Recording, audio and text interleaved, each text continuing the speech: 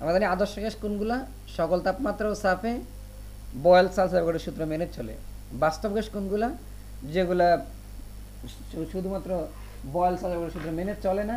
যদি অনেক নিম্ন চাপ প্রয়োগ করা হয়, সরি সরি, আদর্শ গ্যাস হলো হ্যাঁ ঠিক আছে। যে প্রমাণ তাপমাত্রা ও চাপে বয়েল সালস এবং ওটার সূত্র মেনে চলে, তাকে বলা হয় আদর্শ গ্যাস। আর সাধারণ যে গ্যাসগুলা, সেগুলো বলা হয় বাস্তব গ্যাস, যেগুলো পি বি ইকুয়াল টু এনার্জির সমীকরণ মেনে চলে না, তাকে বলা হয় কি বাস্তব গ্যাস। শুধু সে ওই যে উচ্চ চাপে আর নিম্ন তাপমাত্রা এই কথাটা মানে। তাইলে এটি খেয়াল রাখবে এগুলো আমরা শিখছিলাম। আদর্শ গ্যাসের বলছে যে কোনো আকর্ষণ বিকর্ষণ নেই। কিন্তু অবশ্যই বাস্তব গ্যাসের বেলা আকর্ষণ বিকর্ষণ কি আছে? আদর্শ গ্যাসের অভ্যন্তরীণ শক্তি আয়তনের উপর নির্ভরশীল না। আর এটা কি নির্ভরশীল? কারণ শূন্য না মান। এরা পিভি ডান্ডার সমীকরণ মেনে চলে, আদর্শ গ্যাস পিভি ডান্ডার সমীকরণ মেনে চলে, বাস্তব গ্যাস মেনে চলে এই এই সমীকরণটা। এটা থেকে এটা আমরা কিন্তু শিখছিলাম। আদর্শ গ্যাসের তুলনায় গ্যাসের অনুর আয়তন নগণ্য। আদর্শ গ্যাসের বেলায় বলা হয়েছে গ্যাসের অনুসময় নিজস্ব আয়তন, পাত্রের আয়তনের তুলনায় অতি নগণ্য। মানে পাত্রের আয়তনটাই আসল। গ্যাসের অনুসময়ের আয়তনের কোনো বেল নেই। কিন্তু বাস্তব গ্যাস বলতেছে, না, পাত্রের গ্যাসের অনুসময় নিজস্ব একটা আয়তন আছে। শূন্য চাপের বিরুদ্ধে প্রসারিত করলে আদর্শ গ্যাসের তাপমাত্রা অবরোধ থাকে। আর এখানে তাপমাত্রা হ্রাস ঘটে। আদর্শ গ্যাসের বেলায় জেডের মান বা সংকোচনশীলতা গুণাঙ্কের মান ওয়ান হয়। আর বাস্তব গ্যাসের বেলায় কি হয়? ওয়ানের চেয়ে কম বা বেশি হয়। আদর্শ গ্যাস কাল্পনিক ধারণা মাত্র। প্রকৃতিতে কোনো অস্তিত্ব নাই। কিন্তু বাস্তব গ্যাসের অবশ্যই অস্তিত্ব আছে এবং আমরা প্র- প্রকৃতির যত গ্যাস দেখি, সবগুলাই কি? বাস্তব গ্যাস। আশা করি এটা আসলে পারবা তোমরা। পারবা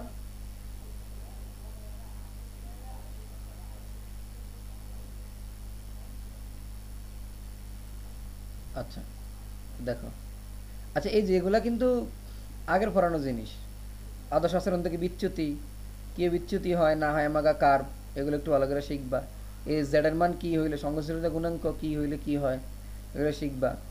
আর এগুলো আমরা এই যে এই- এই প্রমাণগুলো আসতে পারে, ব্যান্ডারলস এ ও বি এর তাৎপর্য, এখান থেকে এই প্রমাণগুলা, ঠিক আছে? এগুলা এখান থেকে দেওয়া যায়। আচ্ছা আমরা আরও কয়েকটা জিনিস নিয়ে আসি আগে। আচ্ছা যে এটা আমি বলি, সংঘর্ষ গ্যাস। সংঘর্ষ ব্যাস দেখো, গ্যাসের গৈতত্ব স্বীকার্য মতে, দেখো যে আগে যেটা যদি বুঝতে পারো, তাইলে এটা এমনি বুঝতে পারবা। দেখো, সংঘর্ষ ব্যাস বা কলিশন ডায়ামিটার গ্যাস গৈতত্ব অনুসারে গ্যাস অনুসারে পাত্রের মধ্যে সর্বদা দ্রুত ছুটাছুটি করে। মানে মনে করো যে মানে যে যেইখান, যেদিকে ফাটতেছে সেই দিকে গ্যাসগুলা কি করতেছে? ছুটাছুটি করতেছে। তো, দেখো, অবশ্যই তারা কি সব দিকে ছোটাছুটি করতেছে আচ্ছা একটা।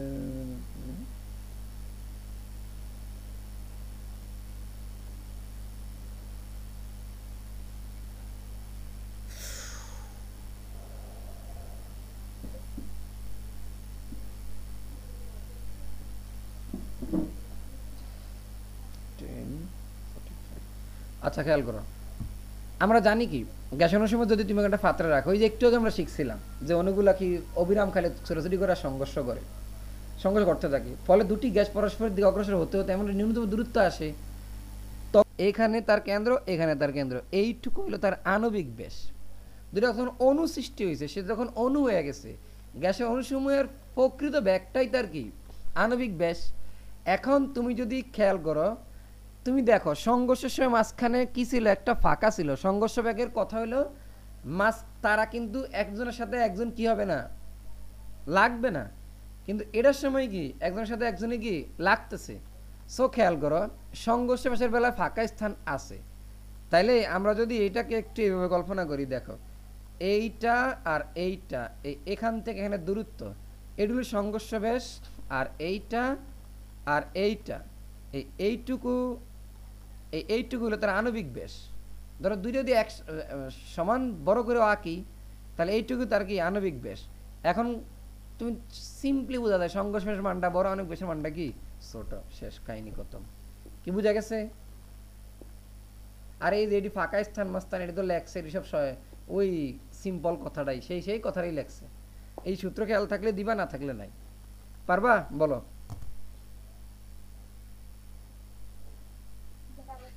পারব।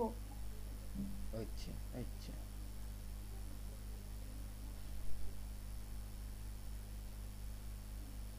বলো জি স্যার পারব। কি পারব?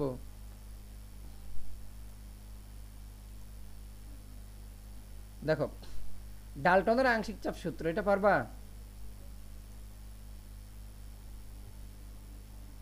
জি স্যার। আচ্ছা আমরা তবে আরেকবার একটু বলি। এই যে এটা একবার বলে দিই, শুধু খুব তাড়াতাড়ি। ফিজিক্যাল এনার্জি আমরা জানি সবাই। আচ্ছা আমরা আগে এই কথাটা একটু আগে বলি যে ধরা যাক নির্দিষ্ট তাপমাত্রা টি নির্দিষ্ট আয়তনের, ধর নির্দিষ্ট তাপমাত্রা হলো টি আয়তন বি পরের সঙ্গে বিক্রিয়া করে না, এরকম। আমরা তিনটা ধরে নিছি, আবদ্ধ পাত্রে। পরের সঙ্গে বিক্রিয়া করে না এরকম কয়েকটা গ্যাসের মিশ্রণ। মূল সঙ্গে হলো N one N two N three N I পর্যন্ত। আংশিক চাও তাহলে কি P one P two P three P I পর্যন্ত। আদর্শভাবে সমীকরণ হিসেবে আমরা জানি কি? ফিজিক্যাল এনার্জি তাহলে ফিজিক্যাল এনার্জি বাই বি তাহলে যদি আমরা এগুলার পৃথক পৃথক, ওই যে যেগুলো মিশ্রিত হয় না, সেরকম কল্পনা করা হয়েছে তাহলে তখন P one V equal to N one R T P two V equal to N two R T তাহলে এখান থেকে পি ওয়ান কল্পনা করলে N one R T by V P two N two R T by V P N লাস্টটা মানে এটা। তাহলে আমরা জানি কি? সবগুলো যোগ করে তুমি কি পাও? এটা পাও P one plus P two plus P three P N পর্যন্ত। N one R T by V N two R T by V N three R T by V N N R T by V তাহলে N R T by V common নিলে N one plus N two plus N three plus N তো এইটুকু total আমরা বলতে পারি আবার N বুঝা গেছে? এইটুকু বলতে পারি এন এই ডেটাটা একটু কী করা হয়েছে এই এইটা এখানে রাখা হয়েছে এই সমীকরণ দিয়ে কল্পনা করা হয়েছে আর যদিও এটা একটু ফেসিফিসে দিছে, এগুলোর আবার বাক করছে বাক এখান থেকে দিয়ে দিছে। তো যাই হোক, সেটা আরও সুন্দর করে আছে। আচ্ছা লা সাতলিয়ারের নীতি এটা খেয়াল আছে? তাপমাত্রার উপর চাপের প্রভাব আয়তনের প্রভাব ঠিক আছে? গণমাত্রার প্রভাব। পারবা?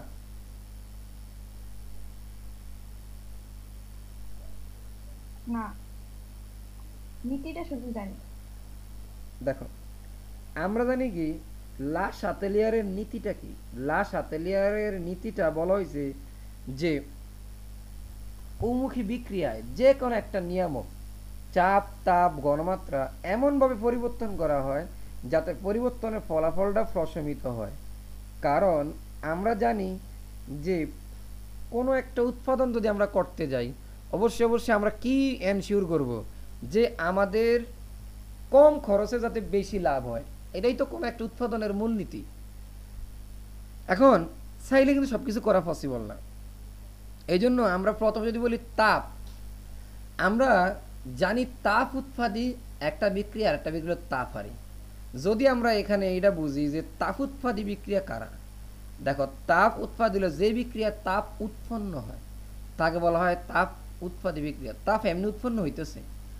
এখন যে বিক্রিয়া তাপ এমনি উৎপন্ন হয়, সেখানে কি তাপ বাড়াইলে উৎপাদ বাড়বে না কমবে? অবশ্যই উৎপাদ কমবে। কারণ আমার তো তাপ এমনি উৎপন্ন হইতেছে। এরপরে আবার তাপ বাড়ানোর দরকার আছে? দরকার নাই। উৎপাদ তখন কমবে। সাম্যাবস্থা বাম দিকে যাবে। আর এই বিক্রিয়া যদি তাপ কমাই তাহলে উৎপাদ কি হবে? অবশ্যই বাড়বে। এই হলো একটা তাপ উৎপাদী বিক্রিয়ার কনসেপ্ট তাপের প্রভাব। তাপের প্রভাবটা পরে বুঝাইতেছি। যদি বিক্রিয়াটা হয় তাপ হারি তাহলে অবশ্যই কি তাপারি বিক্রিয়ায় তাপ বাড়াইলে কি হবে? বলো।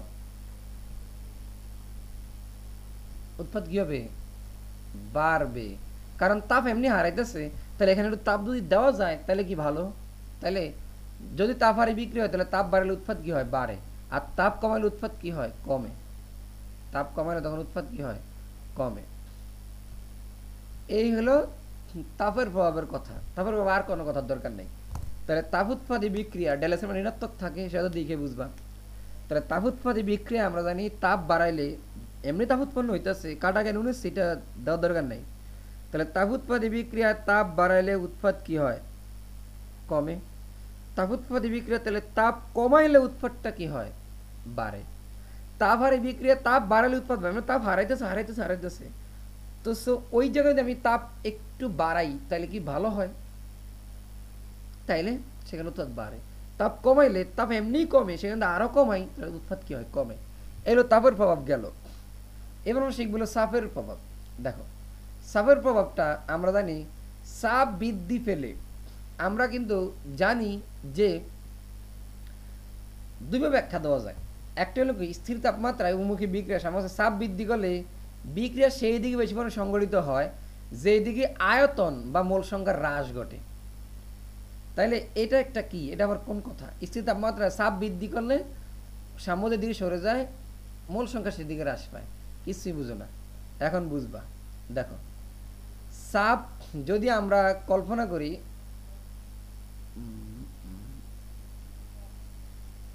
ধরো একটা তাপোৎপাদী বিক্রিয়ায়। ভাইয়া বলো। এইটারে মানে ইয়া মানে চাপের প্রভাব চাপের প্রভাব। হ্যাঁ হ্যাঁ এইটাই। মানে না আগে ছিল। হ্যাঁ ইন্টারেস্ট ছিল এটা এটা তো এটা তো জিজ্ঞাসা করছ? মানে এটা জিজ্ঞাসা করছ নাকি আর অন্য কিছু?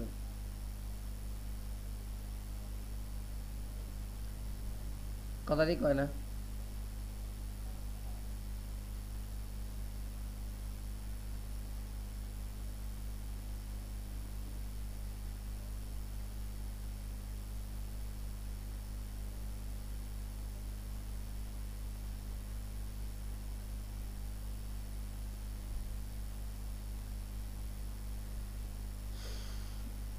আচ্ছা দেখো। আমার কথা কি শোনা যাইতেছে?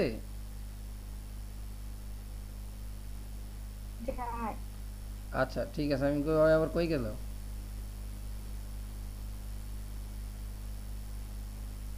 আচ্ছা আমরা যদি বলি একটু খেয়াল করো সাপের প্রভাবটা ব্যাখ্যা দেওয়ার জন্য মূল সংখ্যার কনসেপ্টটা শুধু জানা উচিত আর কিচ্ছু না একেবারে সহজ ওই যে বাচ্চাকালের কনসেপ্ট বাচ্চাকালের কনসেপ্টের মতোই পারবে এখন বুঝবা? দেখো আচ্ছা আমাকে এইবার যদি তোমাদের প্রশ্ন করি, এটা উত্তর দেওয়ার চেষ্টা করো। ধরো H two plus I two equal to two H I আমাকে বলো তো, এই বিক্রিয়ায় তাপ সাপের প্রভাব যদি ব্যাখ্যা করতে বলে, তাহলে এখানে সাপ বাড়লে উৎপাদ বাড়বে নাকি সাপ কমলে উৎপাদ বাড়বে, বলো। এখানে স্থির থাকবে না? হ্যাঁ স্থির থাকবে। কেন? কারণ দেখো এদিকে মূল মোল সমান? হ্যাঁ এদিকে মূল সংখ্যা দুই এখানে মূল সংখ্যা কত? দুই। যেহেতু মূল সংখ্যা সমান সেহেতু এখানে কোনো চাপের প্রভাব নেই। এই বিক্রিয়ার চাপের প্রভাব নেই খেয়াল রাখবা। দুই দিকে যদি মূল সংখ্যা সমান সেহেতু চাপের প্রভাব নেই। ক্লিয়ার এটুকু? এইবার আসো। এইরকম এই বিক্রিয়াগুলোর বেলায়, এই প্রত্যেকটা বিক্রিয়ার বেলায় এরকম তুমি কল্পনা করবা। এই প্রত্যেকটা বিক্রিয়ার বেলায়। এই দেখো, এই যে এই যে। আমরা ওদিক এই দেখে, দেখি, এই যে S two by two N two two এইগুলা, এই কোনো বিক্রিয়া সাপের প্রভাব নেই। এখানে সাপের প্রভাব কি? নেই। বোঝা যায় কথাগুলা। যেহেতু এখানে ডেলানের মান কত? শূন্য। মানে উৎপাদের মূল সংখ্যা মানে বিক্রির মূল সংখ্যা যদি শূন্য হয়, তাহলে এখানে সাপের কোনো প্রভাব নেই। এইবার আসো। যদি ডেলানের মান শূন্য থেকে বড় হয় বা ছোট হয়, তাহলে তখন সাপের প্রভাব কি? আছে। এবার আসো। আমরা যদি কল্পনা করি এইখানে, এই প্রত্যেকটায় দেখা যায় যে দেখা PCl five PCl three Cl two S two plus Cl two four Cl এইখানে তুমি দেখো যে ডেলানের মান সবগুলা কি? বড় হইতেছে। তার মানে এখানে উৎপাদের মূল সংখ্যা কি? বেশি। আর বিক্রিয়কের মূল সংখ্যা কি? কম। খেয়াল করো, এখানে উৎপাদের মূল সংখ্যা কি বেশি? বিক্রয়ের মূল সংখ্যা কি কম? তাইলে এইখানে যদি আমরা, যদি চাপটা, দেখো, এমনি উৎপাদের মূল সংখ্যা বেশি তাহলে চাপ যদি হ্রাস করি, তাইলে বিক্রিয়া কি হবে? ডান দিকে যাবে। একটু তোমারে বুঝাইলে এদিকে বুঝবা এই কথাটা। তোমরা একটা বিক্রিয়াতে খেয়াল রাখো, ধরো N two plus three S two equal to কি? টু এন এস থ্রি খেয়াল করো তো তুমি। যদি আমরা এখানে কল্পনা করি, এখানে কয় মোল? দুই মোল সরি এক মোল। এখানে কয় মোল? তিন মোল। এক মোল আর তিন মোল টোটাল কয় মোল এখানে? বিক্রয়ক চার মোল উৎপাদ কয় মোল? দুই মোল, বুঝো কথাটা। তাইলে এখানে বিক্রিয়ক চার মোল উৎপাদ কয় মোল?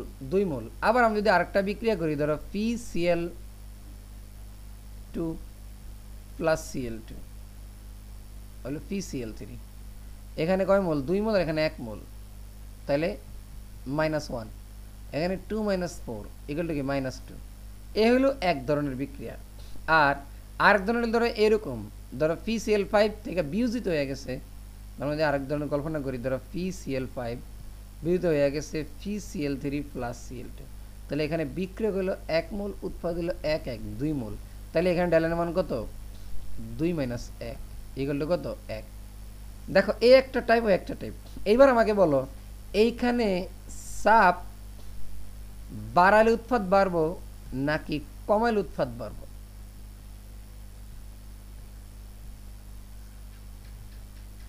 দেখো বলো তো কনসেপ্ট একটু হ্যাঁ বলো। কি হবে? না? না। সাপ বাড়াইলে নাকি সাপ কমাইলে? জানি না দেখো, এখানে খেয়াল রাখবা, এই কথাটা যে দেখো এখানে কি স্পষ্ট করে লেখা আছে, বা আমি বুঝাবো, একটু পরে একটা টেকনিক শিখাবো। দেখো, বিক্রিয়কগুলোর মোট মোল সংখ্যার চেয়ে যদি বেশি হয় মানে ড্যালেন গ্রেটার যখন জিরো হয়, তাদের সাম্যাবস্থার উপর সাপের প্রভাব আছে। তখন সাপ বৃদ্ধি পাইলে আমরা জানি কি? দেখো, এমনিই তার উৎপাদ উৎপাদন মূল সংখ্যাটা কি? বেশি। এখন আমি যদি সাপ আরও বাড়াই তাহলে উৎপাদের মূল সংখ্যা আরও বাড়বো আরও বাড়বো। ঠিক আছে? এখন আচ্ছা তোমাদেরকে সাপ বাড়ানো কথার অর্থ কি? সাপ যত বাড়াইবা, আয়তন তত কি পাবে বলো তো? হ্রাস পাবে। সাপ আর আয়তন পরস্পরের কি? বিপরীত। বোঝার চেষ্টা করো। সাপ আর আয়তন পরস্পরের কি? বিপরীত। দেখো, এখানে উৎপাদের মূল সংখ্যা কি? বেশি। আর বিক্রির মূল সংখ্যা কি? কম। আমি যদি এখানে বিক্রিয় চাপ বাড়াই, তাইলে আয়তন আরও কি হ্রাস পাবে? তাহলে আমার আরও কি হইতেছে? লস হইতেছে। সো যখন আমাদের মানটা ডেলান মানটা ওয়ান থেকে বড়, অর্থাৎ উৎপাদের মূল সংখ্যা যখন এমনিই বেশি, সেখানে বাম পাশে আমি যদি চাপ বাড়াই তাহলে কিন্তু আমার বিক্রিয়ার সমস্ত কোন দিকে যাবে, বাম দিকে যাবে, উৎপাদ হ্রাস পাবে। আর যদি চাপটা হ্রাস করে তাহলে আয়তনটা তখন এই দিকে বৃদ্ধিভাবে ব্যালেন্স হবে। আমরা জানি আমাদের উচিত হলো ব্যালেন্স করা। বুঝতে পারছ কথা? আর যখন এর মানটা শূন্য থেকে আমি একটা টেকনিকও শিখাবো টেনশন কিচ্ছু নাই। যখন এরকম যোগের বেলায়, এরকম যোগের বেলায় আমরা যদি বলি, তাহলে তখন কিন্তু উৎপাদের মানটা ছোট আর বিক্রয়ের মানটা কি? বড়। তখন আমি যদি এখানে সাপ বাড়াই, তাহলে আয়তন কি? হ্রাস পাবে। তাহলে এই এটার জন্য আমাদের উৎপাদ কীভাবে তখন বৃদ্ধি পাবে। এইবার তোমার আমি এইখান থেকে বুঝাই, তাহলে বুঝবা, বাংলা কথা দিয়ে বুঝাই। একটু খেয়াল করো, আমি যদি এখানে কল্পনা করি, এখানে কয় মোল? চার মোল। এখানে কয় মোল? দুই মোল। মানে চা, প্রতি চার মোল থেকে দুই মোল করে উৎপন্ন হইতেছে। এখন আমি এখানে চাপ যদি বাড়াই, তাহলে আয়তনটা কি হ্রাস পাবে? তাহলে সাম্যবস্থা প্রাপ্ত হবে। চাপ, তাহলে এখানে বাড়াইলে আয়তন কীভাবে হ্রাস পাবে? তাহলে এখানে এই দুইয়ের মধ্যে একটা সাম্যবস্থা প্রাপ্ত হবে। আর যদি তুমি দেখো এইখানে, এখানে দেখো, আমি যদি কল্পনা করি, এখানে এক মোল আর এখানে কয় মোল? দুই মোল। এখানে বাড়ানোর কথা। এদিকে গেলে এদিকে কম, এদিকে কি বেশি? এদিকে সাপ কমাইলে আমাদের কি হবে?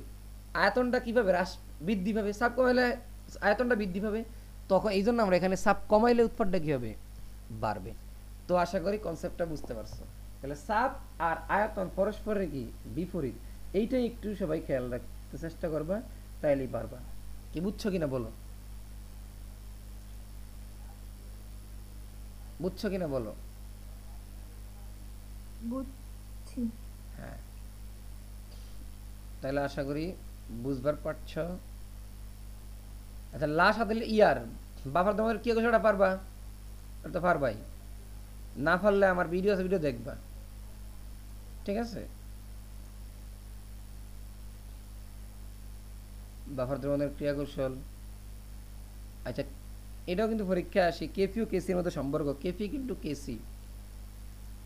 এই যে কেপি ও কেসির মধ্যে একটা সম্পর্ক, আমরা জানি কি? KP equal to KC into R T whole to the power del N এই সম্পর্কটা আসে পরীক্ষায়। ফলে কেপি ও কেসির মধ্যে সম্পর্ক স্থাপন করো। এটা কিন্তু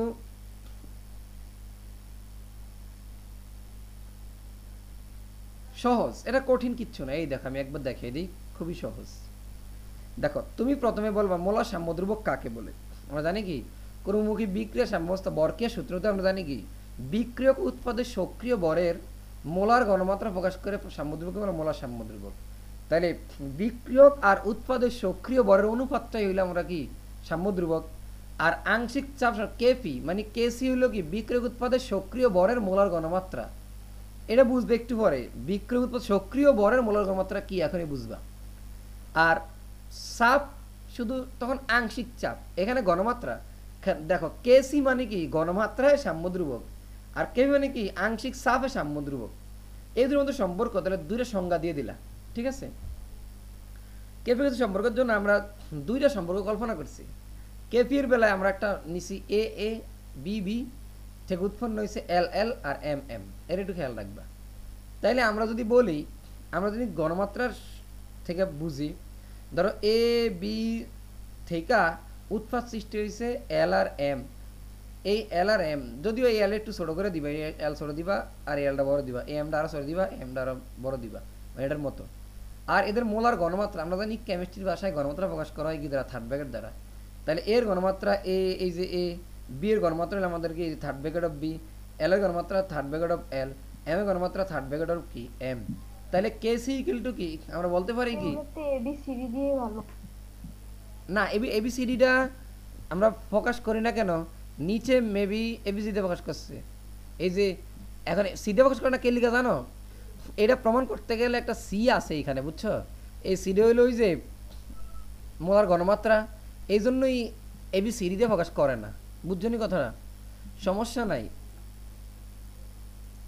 শুধুমাত্র এই সিটা মোলার গণমাত্রা দেখা তারা এবি সিডিতে ফোকাস করে নাই। ক্লিয়ার মানে এই ফ্র্যাকশন বাজা দেবে এই সিএর লাগে ওই সিএর এই জন্য আর কিচ্ছু না, আর কোনো সমস্যা না। তাহলে দেখো কেসি তাহলে কেসি ইকুয়াল টু আমরা যদি কল্পনা করি, নিচে কি থাকে? বলো তো। নিচে থাকে বিক্রিয়ক, উপরে থাকে কি উৎপাদ।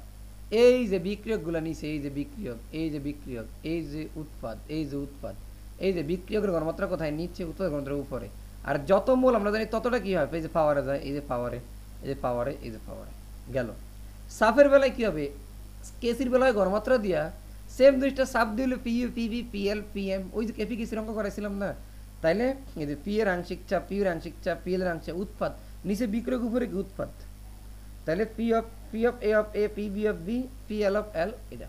তাইলে একটু খেয়াল করো, আমরা যদি এখন দুইটাকে একটু একসাথে লেখার চেষ্টা করি। আমরা এইটা জানি যে পি বি কিন্তু কি? এন আর টি সবাই এটা আমরা অনেক আগে থেকে জানি, মুখস্থ। আবার আমরা জানি এই N by V equal to কি? সি কারণ মোলার গণমাত্রায় ইকুয়াল টু কি? এন বাই বি লেখা যায়। মোল সংখ্যা ইন্টু আয়তন। মোলার গণমাত্রা ইকুয়াল মোল সংখ্যা ইন্টু কি? আয়তন।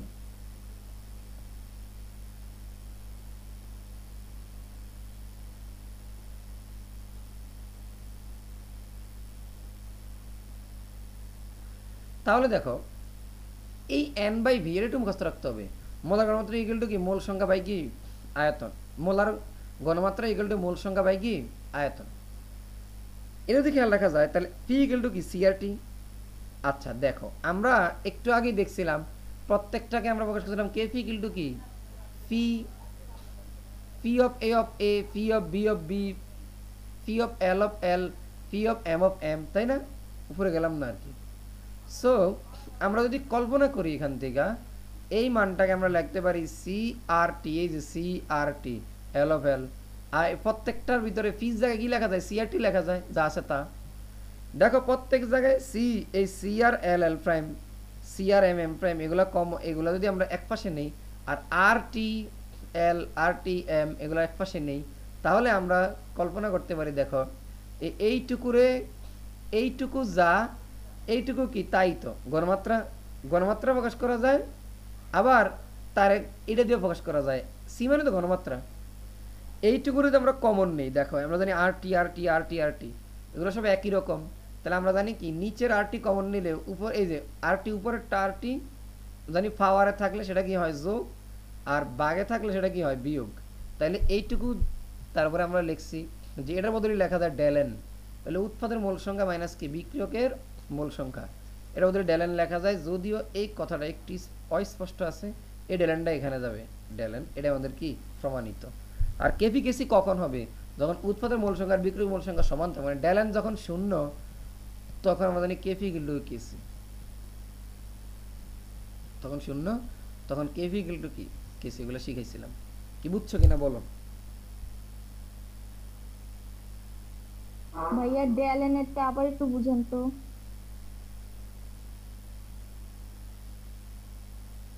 একটু খেয়াল করো। আমরা জানি কি, এইটা কি? উৎপাদের মূল সংখ্যা না? মানে সেটা কি? বিক্রয়ের মূল সংখ্যা? ওই যে আমরা ফার্স্টে ধরে নিছি যে এগুলো সব মূল সংখ্যাটা ধরছিলাম না। এই ধরো, এই এগুলো প্রত্যেকটা আমাদের এই ধরো টু এ থাকলে আমরা কি দিই? এর মাত্র উপর স্কোয়ার দিই। সেই এটাকে কি ধরছে? এল আবার আমরা এই যে যখন ধরো থাকতো টু ইন্টু সিএল তখন আমরা কি দাম? সিএল গণমাত্র ইন্টু স্কোয়ার তাহলে এই এটাই তো এই যে, এই জিনিসটার এই পাওয়ারে আনছে। সো এগুলো এটা এটা ছিল উৎপাদের বেলায় আর এটা ছিল কি বিক্রয়ের বেলায়। তাহলে উৎপাদের মূল সংখ্যা মাইনাস বিক্রয়ের মূল সংখ্যা।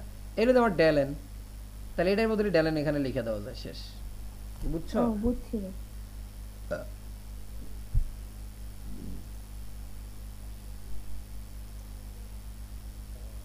তার দিকে দিকে যায় না। আচ্ছা মোটামুটি যেগুলো শিখেছি সেগুলো বুঝছ?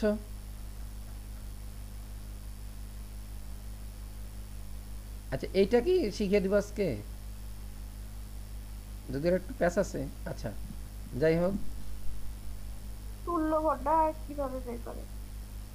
নরমালি আমরা জানি কি নর্মালিটি ইলটু কি মোলার ইন্টিন ইলটু কি তুল্য সংখ্যা?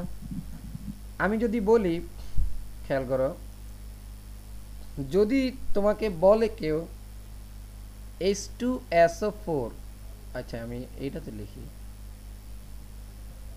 যদি বলে এইচ টু এসও ফোর এর তুল্য বর কত? আমরা জানি কি, উপরে থাকে আণবিক বর আর নিচে কি থাকে? তুল্য সংখ্যা। প্রথমে আমার বুঝতে হবে যে তুল্য সংখ্যা কার বেলায় কীভাবে হয়। একটা তোমাদেরকে একটা ইয়া দিছিলাম শীট দিছিলাম একবার। আছে কিনা সেটা জানি না। আমরা জানি এসিডের বেলায় যতটা প্লাস ত্যাগ করতে পারে, সেটাই তার তুল্য সংখ্যা। ক্ষারের বেলায় যতটা ওয়েস প্লাস দান করতে পারে, সেটাই তার তুল্য সংখ্যা। ধাতুর বেলায় তার সক্রিয় যোজনীটাই তার তুল্য সংখ্যা।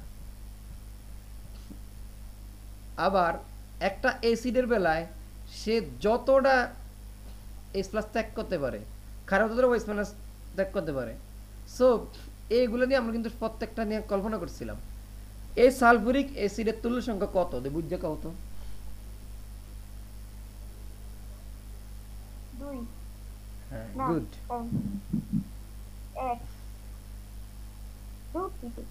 কত? গাও। এসিডের বেলা আমি বলি আবার এসিডের বেলায় যতটা এস প্লাস ত্যাগ করতে পারে সেটাতে তুল্য সংখ্যা। এবার কও। কত?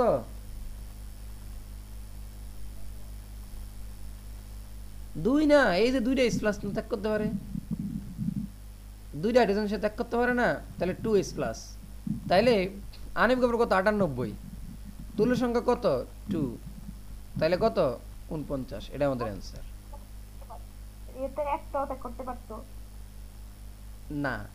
এখানে সালফিউরিক অ্যাসিড অবশ্যই এবং অবশ্যই তুমি লিখলে two of S plus plus S two minus সম্পূর্ণটা লিখতে হবে।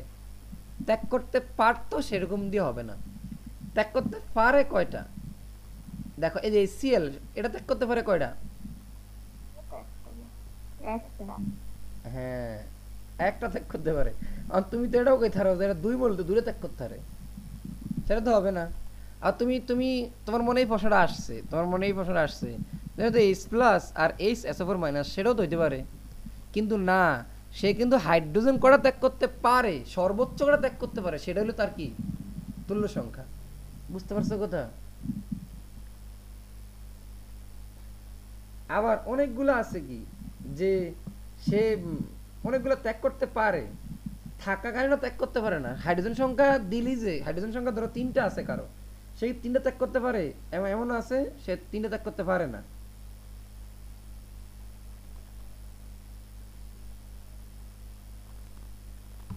আচ্ছা তো বুঝছ আর কোনো কনসেপ্ট জানার আছে এরকম? এসিড খার আরও একটা কি বললেন? অ্যাসিড ক্ষার ধাতু ধাতুর বলে তার সক্রিয় যোজন এটা। ঠিক আছে? আর ওই যে আমরা জানি কি জারক জারকের